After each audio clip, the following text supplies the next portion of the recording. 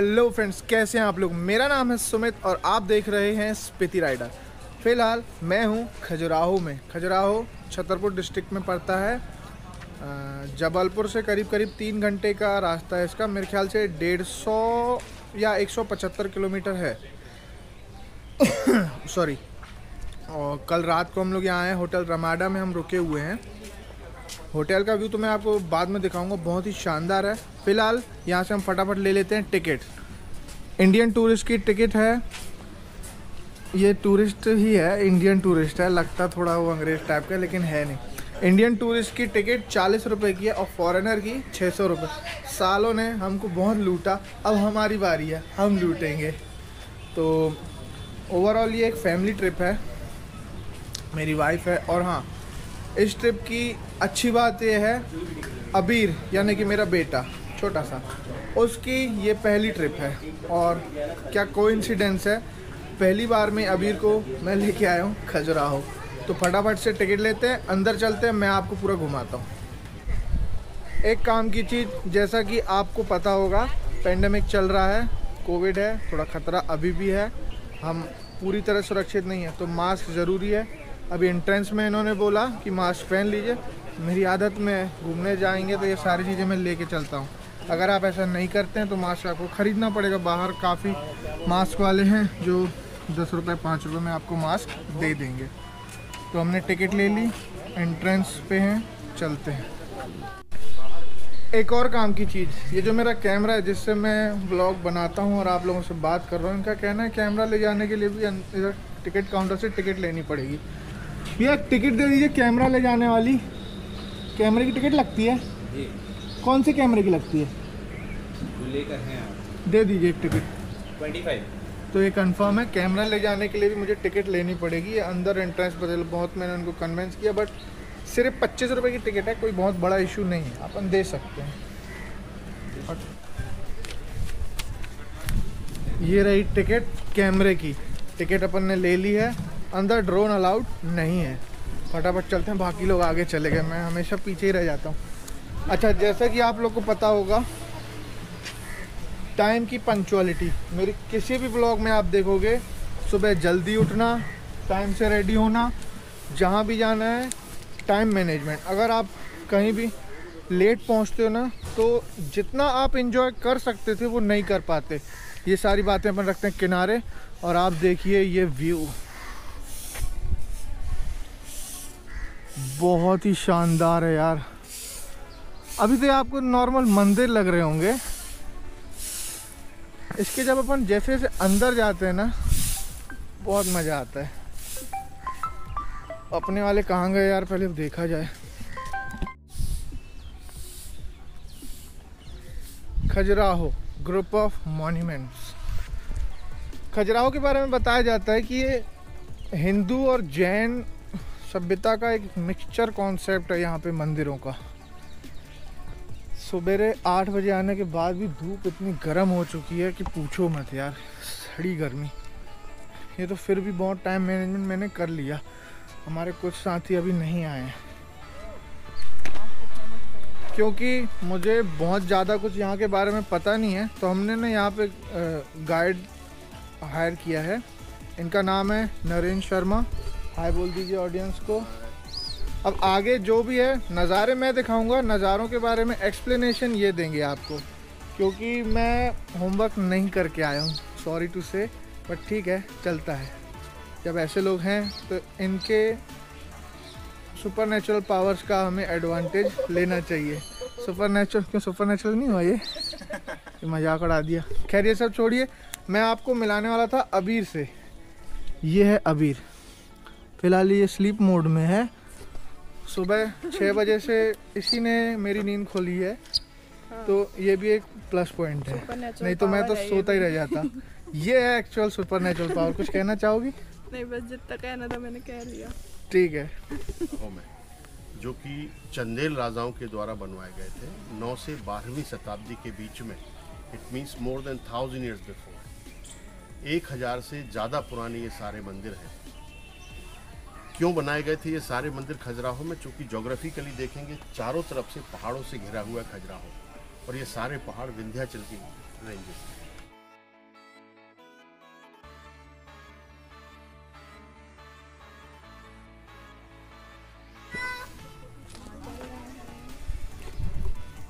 Guide साहब जो explain कर रहे हैं ना, उसमें टाइम बहुत लगेगा।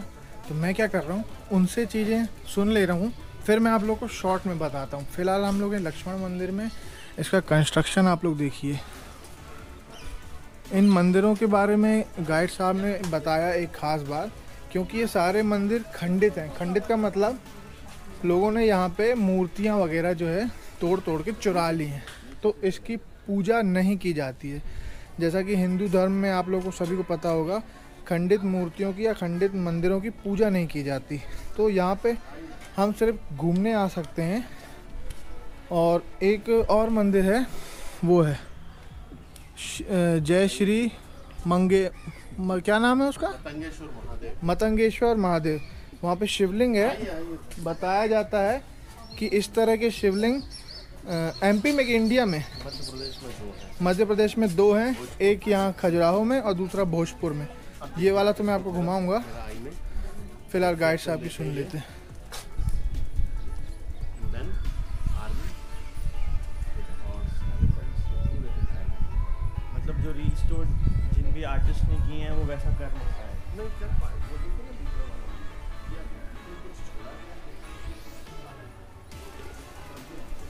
मंदिरों की खास बात यह है, इसमें काफ़ी सारा पोर्शन जो है ना रिस्टोर किया गया है।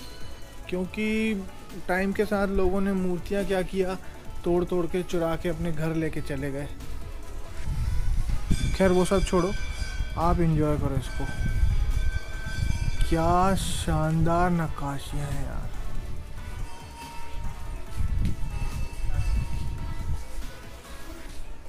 भी ऐसा लगता है जैसे महिला हो, चूँकि उसके भी लंबे बाल हैं, आभूषण वही हैं और ड्रेसेस वही हैं जो महिलाएँ पहने हुए हैं। और इसी खजूर के पेड़ से खजुराहो का नाम पड़ा है। बहुत सारे खजूर के पेड़ थे चारों तरफ़, इसीलिए खजुराहो बोला गया है इसको। और फिर बाजू में देखेंगे अपने लेफ़्ट साइड में एक्सट्रीम लेफ़्ट में लुक एट द लेडी किस तरीके से खड़ी हुई है और अपना ही यौवन देख रही है, अपनी ही सुंदरता देख रही है। देखे उसके चेहरे का भाव और साड़ी की डिज़ाइन देखें, बहुत ही सुंदर है। फिर अपने एक्सट्रीम राइट में आ जाएँ, एक माँ देखे अपने बच्चे के साथ खेलती हुई। ये तो ममता भी दिखाई गई है, काम दिखाया गया है, और कला भी दिखाई गई है। ऐसी बहुत सारी चीज़ें हैं खजुराहो में। इस व्लॉग के थ्रू मैं आपको पूरा खजुराहो घुमा दूँ। मुझे तो इम्पॉसिबल लग रहा है, क्योंकि यहाँ पे जो बारीकियाँ हैं, जो मूर्ति नक्काशियाँ हैं, उसको एक्सप्लेन कर पाना मेरे लिए बहुत मुश्किल है। लेकिन अल्टीमेट है।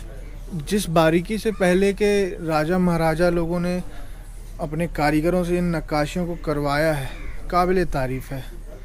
ये देखिए।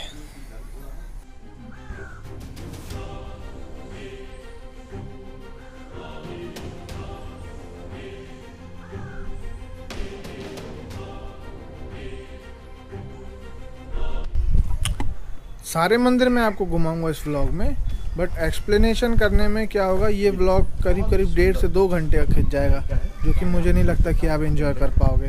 क्योंकि मेरा पर्पस होता है कि मैं अपने ब्लॉग के थ्रू आपको एंजॉय करवा पाऊँ, घुमा पाऊँ। अभी तक हम लक्ष्मण मंदिर में ही हैं। इस शिलालेख देखिए आप, क्या बारीकी से संस्कृत में लिखा गया है पूरा। इस मंदिर का इतिहास मेरे को तो पढ़ते नहीं बनता कि क्या लिखा है। हम देख के मज़ा बहुत आ रहा है। अंदर चलते हैं। सबसे बड़ा स्पेसियस यही है एरिया और इस प्लेटफॉर्म के पहले यहाँ पर रॉयल फैमिली बैठती थी राइट और लेफ़्ट में म्यूज़िक वाले कलाकार बैठते थे और ये नृत्यांगना की जगह हुई थी। अगर पूजा होती थी तो नृत्य होता था और यहाँ पुजारी बैठते थे पूजा करते थे। आप यहाँ खड़े हो जाएँगे तो देखिए आपको ये वाला मेरा फेवरेट है खंडित सारी मूर्तियाँ आपको आजकल जो लेडीज़ लोग को ये बड़े बड़े नाखून रखने का जो बहुत शौक है ना, ये कुछ भी नया नहीं है। आप देखिए बारीकी से इसको। ये एक हज़ार साल पुराना फ़ैशन है। पहले की रानिया, महारानियाँ ये सब करती रहती थी। तो सुन लो, तुम लोग जो है ना कुछ बहुत नया नहीं कर रहे, हो ना?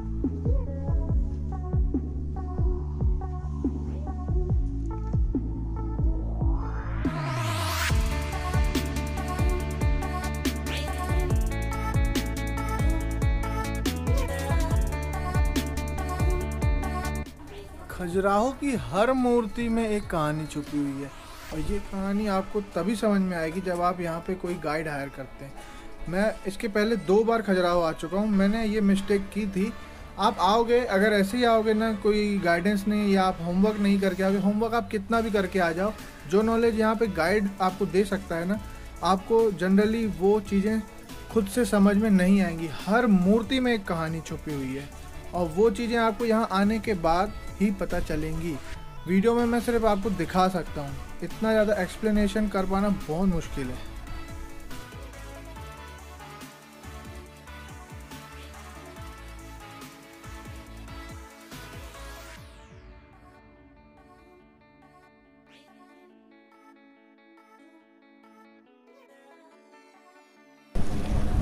देखा आपने तोते कितने प्यारे हैं। का वाहन, वो बैठा है, देखिए आप। एक बहुत बड़ा डाउट था मेरे को कि मंदिर के अंदर कामा सूत्रा से रिलेटेड कंस्ट्रक्शन क्यों है? वो भी क्लियर हो गया। हमारे जीवन के चार, क्या होते हैं भैया? हमारे जीवन के चार पुरुषार्थ होते हैं। धर्म, अर्थ, काम, मोक्ष। तो ये जो काम है, ये थर्ड नंबर पे होता है। तो उस चीज़ को कुछ भी आज के इंसान ने अभी इन्वेंट नहीं किया, ये सब काफ़ी पुरानी चीज़ें हैं। यही सब यहाँ पे खजुराहो में मूर्तियों के द्वारा रिप्रेजेंट किया गया है। काफ़ी सारी चीज़ें हैं, इसके अलावा भी है, मंदिर है, नक्काशियाँ हैं, बहुत कुछ है। अभी एक मंदिर तो हो गया, हम दूसरे मंदिर जा रहे हैं, वहाँ की सीनरी में आपको दिखाता हूँ।